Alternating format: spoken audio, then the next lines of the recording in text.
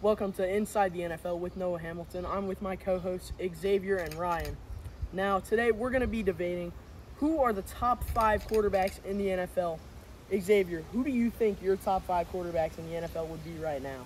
Well, if I'm going to be honest, I'm going to go based off of what I think next year will be. Number five, give me Tua Tagovailoa. I know it's a very wild take, but I do feel like that he will stand out and he'll be the top of the AFC East. Josh Allen's missing weapons. He has Hill, Waddle, and then Raheem Mostert in there will carry his team, and his defense will get better. I feel like he'll be fine. Four, give me Joe Burrow. Him coming off an ACL injury is not good, but I feel like Joe Burrow somewhere he won't be top three, but he will be just borderline at top four. The Bengals are a good team. He's played LSU. He had a great, insane last year in 2019. Joe Burrow is the way to go. 2022 made his Super Bowl. He's great. Three, give me Mahomes. I know this is a wild, wild take. I know people are hitting me for this. I feel like Mahomes, if really honest with you, he's gonna have a down year this year. He down, he can have a down year last year. It's gonna go downhill more. Losing more key players. They had less addition than most teams. I like it's gonna be a little bit down year. He might even get hurt this year. You know, he's been getting hurt for the past few years. This one might be a little more serious, especially if his leg. You know, he runs a lot. He's three. Two, give me Mr. Josh Allen, MVP favorite, but I just I don't see him being a number one where I had number one right now. Josh Allen, he's a great guy. Can use his legs. He, he has crazy throw power. He made some other decisions here and there, but he's still definitely number two. Number one, 100% Lamar Jackson, MV, two-time MVP. That's not debatable. Some questionable decisions there in the top five. Personally, I'm going to go with, obviously, the top three is obvious. Allen, Lamar, and Mahomes, undisputed top three. Depending on where you put them, I'd personally always put Mahomes at first, Allen in third, Lamar at second. Lamar. Now, Lamar's number one. Ryan, what do you think about the top five in the NFL in quarterbacks? At number one, I have to do Patrick Mahomes. He's just been so talented in recent years, leading his team to so many Super Bowls. I just think he has to be number one. Number two, I would put Lamar Jackson, but he can be inconsistent in his years after winning MVP. So I need to do Josh Allen, even though he's lost a lot of his weapons. I think it'll make his legs shine more, and I think he'll stand out more. How Number three has to be Lamar.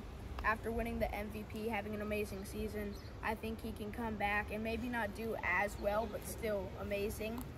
Number four needs to be Joe Burrow. Like Xavier said, he's coming off an injury, but he's one of the best passing quarterbacks in the league. He has Ja'Marr Chase on his team. His O line is getting better, making him more protection. Then number five, I know it's only his second year, but I need to do CJ Stroud.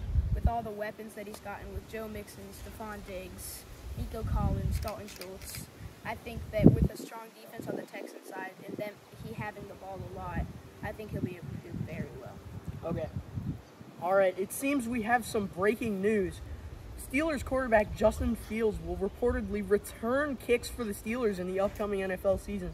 Xavier, as our resident Steelers fan, how do you think about this? I mean, this is this is a very crazy thing. I mean, I mean, just knowing that quarterbacks can never really return kicks, now there's new things in pulse. It could cause some injuries. You know how return kicks they always kind of wild, could be returns, and hit big hits, so it's really a fumble. He could get hurt, and this really like the best idea. Keep quarterbacks where the quarterbacks are, and if, without Justin Fields, will the Steelers really be Wilson? Wilson might only be good for seven games. If Hurts, if Fields gets hurt, what's gonna happen then? I, I don't like this at all.